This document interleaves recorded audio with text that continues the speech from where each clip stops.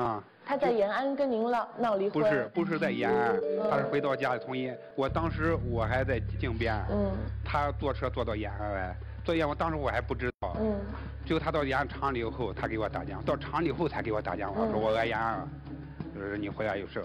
最后我们没办法，我们厂领导从延安开的车到榆林去了，把我接回来。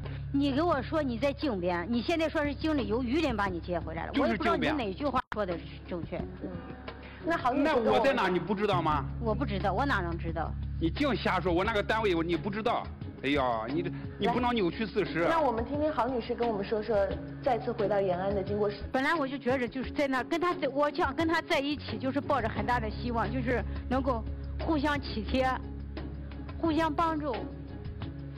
我想要他，我想需要的他也能够给我，他需要的我也能够给他。那您我就想要那种。互相能够舍不得离开的那种感觉，可是我在他那找不着。所以刚才你问他这二十五年来你最想要的是什么？你最想要的是那种互相舍不得离开的感觉，是吗？对。可是他就老说是我到他那去砸他的锅，不想让他在外面干，总想让他回家。那你跟我们说说后来你再次回到延安，想要跟他提离婚的经过，好不好？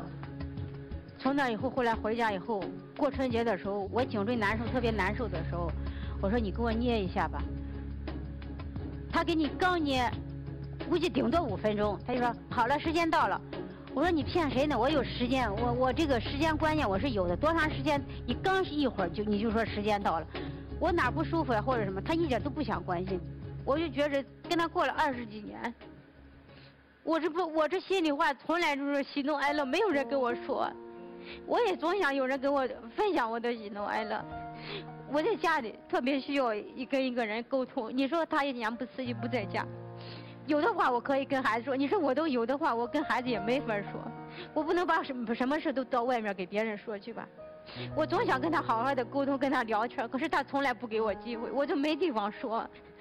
我就说，我就想算了吧，咱们这样也没有也没啥意思，咱们来一个协议离婚算了。咱们没法过。后来他说他在靖边，我说那你要在靖边，我就坐车再到靖边去。他说不让我到靖边去，我就到火车站去等他。等了多久？好像也是到后半夜。然后呢？什么到后半夜了？咋能到后半夜？连是连酒店都没有，还到后半夜了？然后您拿着协议离婚的协议书，我让他看，他说他不同意。